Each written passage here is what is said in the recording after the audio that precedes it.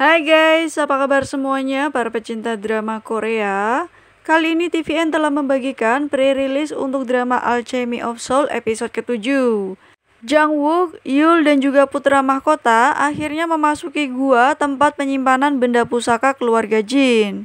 Ketika mereka bertiga masuk, putra mahkota terus saja berbicara hingga membuat Jang Wook ini kesal. Dan akhirnya dia memarahi agar putra mahkota diam. Selanjutnya, Jang Wook mengatakan agar putra mahkota tidak menyentuh benda apa pun di situ. Namun dia malah mengatakan benda ini sama saja. Putra mahkota akhirnya menyentuh giok naga dan tiba-tiba giok tersebut bergerak dan hendak menyerangnya.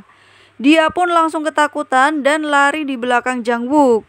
Yul kemudian datang menghampiri mereka dan menanyakan apakah mereka baik-baik saja. Putra mahkota mengatakan, pasti ada sesuatu yang aneh. Apakah kamu terkejut? Yul menjawab, aku terkejut. Di sini gelap, jadi hati-hati.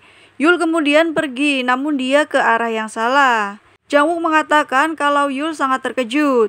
Yul akan kehilangan indranya saat dia sangat terkejut. Jangwook berteriak kepada Yul dan mengatakan kalau kita harus pergi ke arah lain. Yul kemudian berbelok dan dia kembali mengatakan semuanya hati-hati.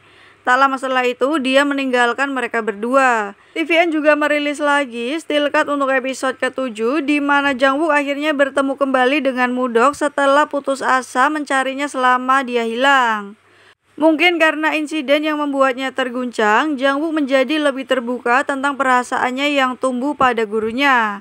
Jangwoo kemudian memberikan Mudok hadiah yaitu sebuah ornamen yang dia buat sendiri dari batu giok yin yang yang berharga yang melambangkan pasangan yang hidup bahagia bersamanya selama 100 tahun. Berbeda dengan sikap nakalnya yang khas, Jang Wook menunjukkan ekspresi yang tulus dan rentan saat ia menawarkan hadiah istimewanya. Dan meskipun Mudok mencoba untuk bersikap acuh tak acuh, tatapan terkejut dari mata Jang Wook menunjukkan bahwa dia menyadari apa arti hadiah ini.